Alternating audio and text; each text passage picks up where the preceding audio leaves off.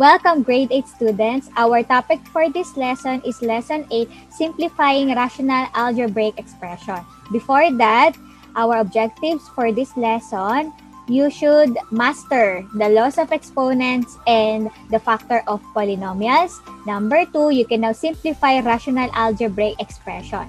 Again, what is the meaning of simplify? So it is to reduce an equation or fraction, etc. to a simpler form by cancellation of common factors, regrouping of terms in the same variable, etc.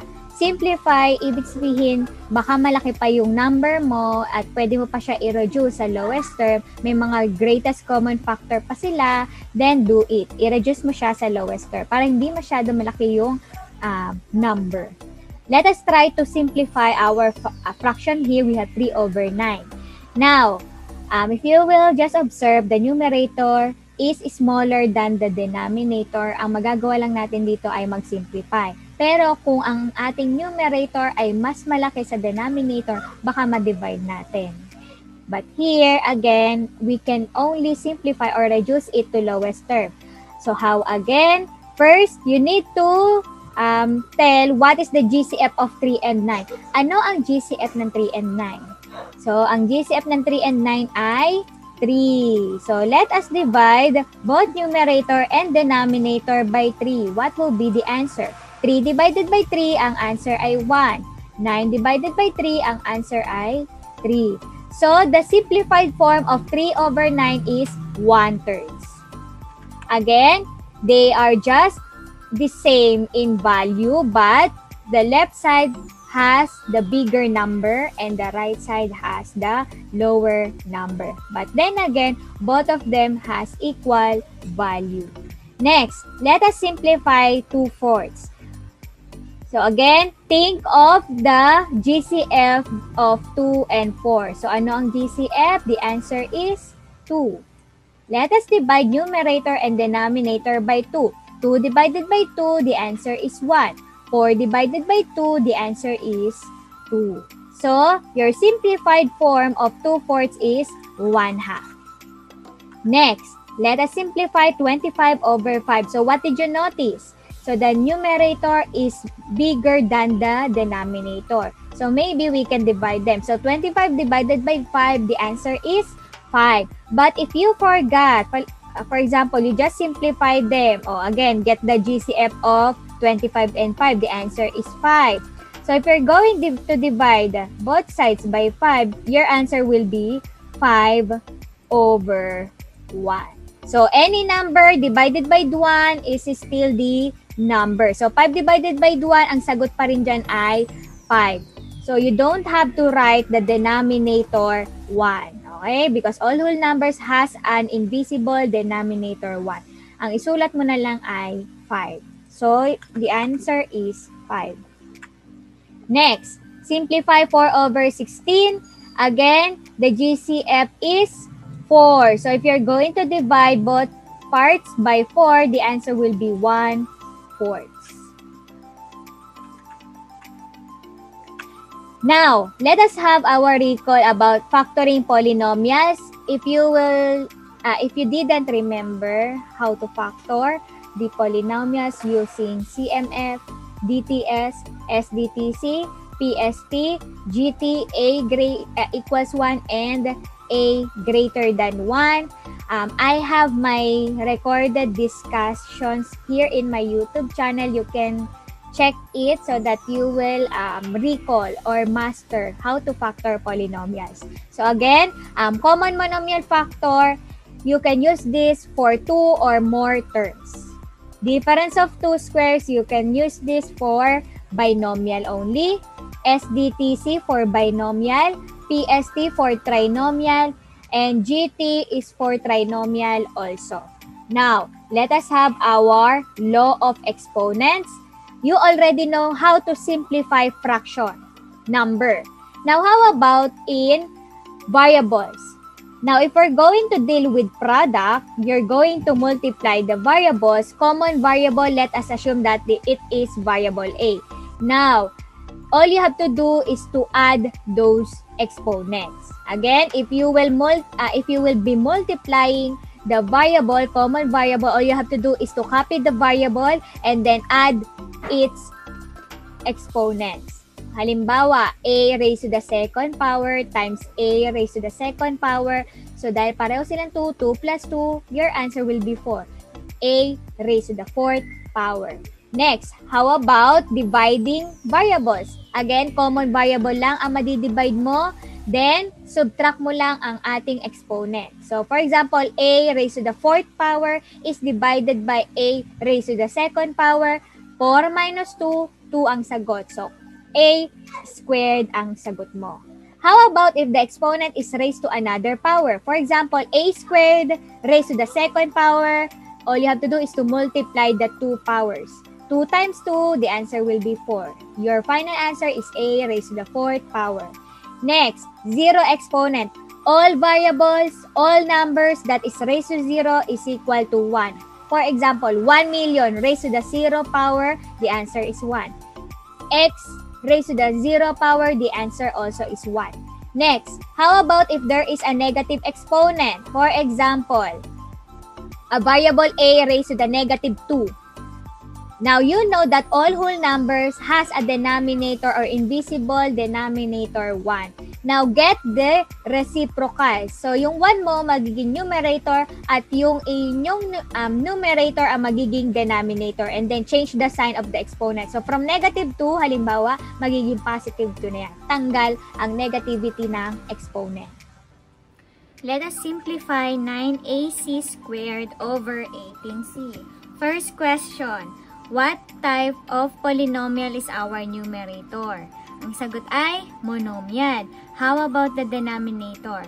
Ang sagot ay monomial din. Kapag monomial, hindi mo na kailangan i-factor using common monomial factor, difference of two squares, sum and difference of two cubes, perfect square trinomial, and general trinomial. Dahil ito ay pwede lang i-factor for two or more terms. Kapag monomial, diretso ka sa pag-simplify or reduce to lowest term.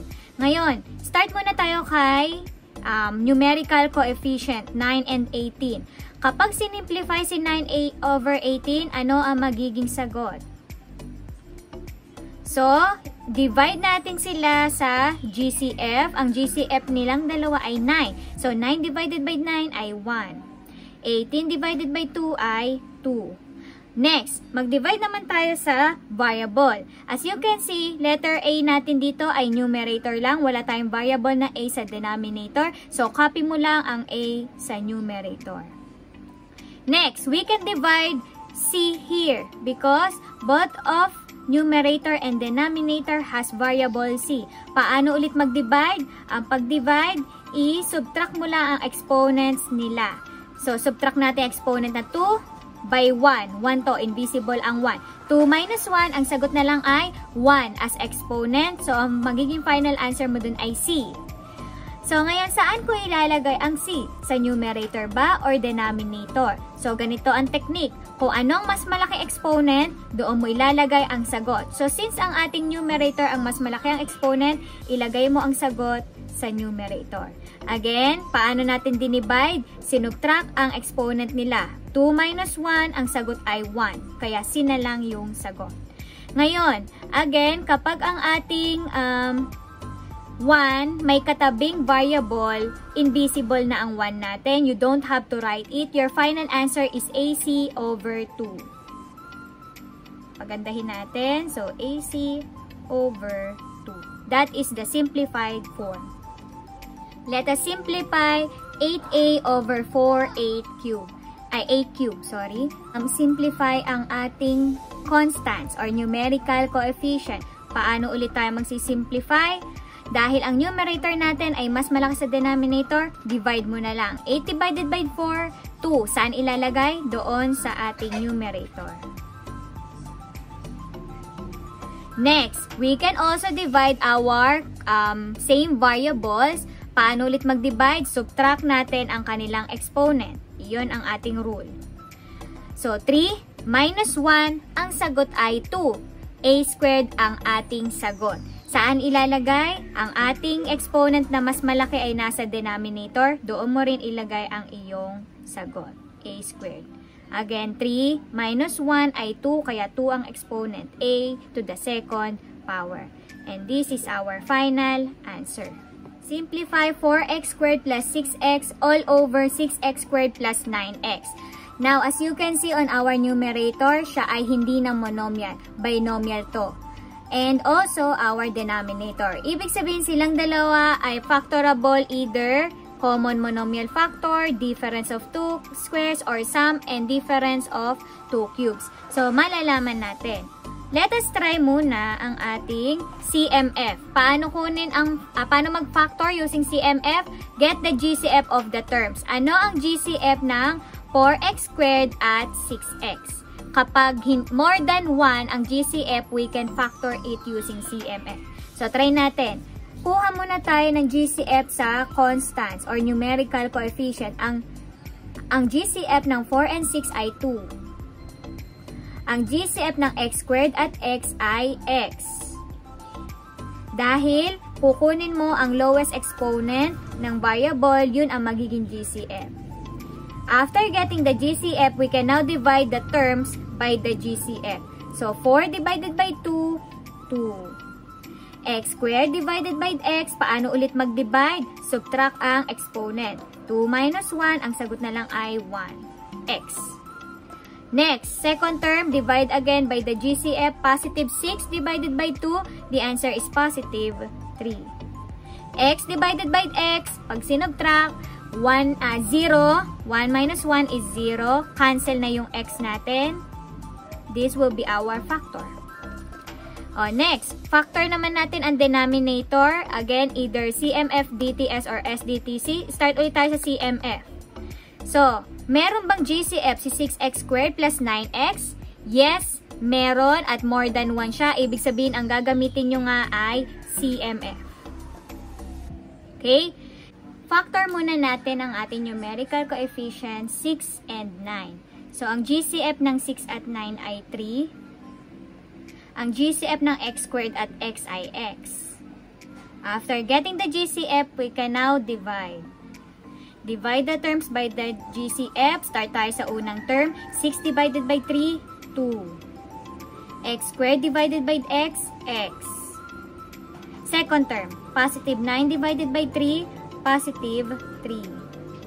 x divided by x, cancel na. So, these are the factors. Now, what did you notice? If you can see, meron tayo ditong same factor sa numerator and denominator. Ba kapag same, halimbawa, 10 divided by 10 equals 1. 1,000 divided by 1,000. Ang sagot din ay 1. So, any um, like um, dividend tsaka divisor, it will lead to a quotient of 1. So, kapag dinivide natin, ang ating 2x plus 3 sa numerator and denominator, pag dinivide natin yan, equal niyan ay 1. Next. By the way, ang tip dyan, ang pwede mo lang ipag-divide ay binomial sa binomial, monomial sa monomial, tsaka trinomial sa trinomial. Ngayon, i-divide din natin ang ating monomial. Kung natatandaan nyo sa first two examples natin, pag dinivide natin itong variable, paano ulit mag-divide ng variable? I-subtract ang ating exponent. So, pag sinubtract natin itong exponent, 1 minus 1, cancel na yan. 0 na yan. So, cancel. Ano ang natira? Yung 2 at yung 3. So, kahit niya i-multiply mo sa ating sagot, 2 times 1, 2 pa rin. 3 times 1, 3 pa rin. Your final answer will be 2 thirds. Ang 2 thirds ay hindi mo na kayang i-lowest term. This is the lowest term. Let us now simplify our next given. So, numerator muna tayo. Anong numerator natin? Binomial siya. Ibig sabihin, ang ating pwedeng ipang factor ay CMF, DTS, or SDTC. Start tayo kay CMF. CMF, paano? Um, check if there's GCF is greater than 1. So, dito, ano ba ang GCF ni 1 at ni 9? Ang sagot ay 1. Then, wala naman silang common variable. So, ang GCF lang talaga ay 1. Again, kapag ang GCF ay 1, it is prime, it is not factorable using CMF. Punta ka kay difference of two squares. Paano malalaman? Difference. Dapat subtraction two squares. Dapat perfect square ang first at second term. May square root si z squared? Meron. May square root si 9? Meron. It means it is factorable using DTS. Now, how to get the factor of DTS? We have two sets of binomial. One is positive, the other one is negative. Get the square root of the first term. Ang square root ng z squared ay z. So, write it on the first term of our binomials. Next, get the square root of our second term. Ang square root ng 9 ay 3. And write it on the second term of our binomial factors. Next, if you will just notice here, naka-open and close parenthesis na ito, ibig sabihin sila ay factored na. At kahit itry mo ang mga factoring um, tools natin dito, hindi na siya kayang i-factor. Just copy those factor on our denominator.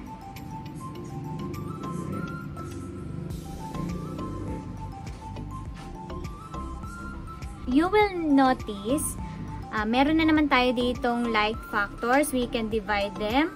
The answer is 1. Divide them. The answer is 1. So, multiplying them 1 times 1, the answer is 1. Also, on the denominator, 1 times 1 is 1. Now, again, 1 divided by 1, it is a whole number 1. This is the final answer. Simplify our next example. So, our numerator is a binomial. It is factorable using CMF, DTS, or SDTC. Now, let us try CMF. What is the GCF of our first term and second term? So, the GCF of m to the 6th power and 1 is only 1. It means if the GCF is only 1, it is prime, it is not factorable using CMF. How about DTS? Difference means subtraction, but on our example, it is addition. It means this is also not factorable using DTS. Let us now proceed with SDTC. So, sum and difference, pwede addition or subtraction and they should be perfect cube. Is there a cube root of m to the 6th power? Yes, meron. At meron ding cube root ang ating um, second term. How to factor SDTC? One is binomial, the other one is trinomial. Kapag addition ang gi given natin, ang ating pattern ay positive, negative, positive. Get the cube root of the first term. Ang cube root ng f to the 6th power, i-divide mo lang exponent by 3. So, 6 divided by 3 ay 2. So, m squared ang ating cube root. Ano ang cube root ng 1? 1. 1 times 1 times 1 kasi ay 1 din. Next, dito na lang tayo titingin sa ating binomial factors. Square the first term. Ang square ng m squared, paano ulit mag-square? Multiply mo yung exponent. So, m squared, 2 times 2, ang sagot ay 4. And then, anong square ni 1? 1 times 1, 1. How about the middle term? All you have to do is to multiply the two terms. m squared times 1 ay 1m squared or m squared. Invisible, 1. Next, let us factor our second term. Again, this is a binomial, a second term. The denominator pala. It is factorable using CMF, DTS, or SDTCs. Try natin ang CMF. Ano ang GCF ni m squared at ni 1? Ang sagot lang ay 1. Ibig sabihin, prime yan, it is not factorable using CMF. DTS, hindi rin kasi hindi naman siya subtraction. SDTC, hindi perfect cube ang m squared. Hindi madidivide ang exponent na 2 by 3. So, ibig sabihin, it is not factorable with any of these three. Just copy our denominator. Now, what did you notice? We have again, um, same factors. You can divide them. The answer is 1. So, 1 times this factor, kopyahin mo na lang yan. So, we have m to the 4th power minus m squared plus 1. Then, since ang ating denominator ay 1, you don't have to um, copy the denominator 1. So, whole expression na tayo. This will be your final answer.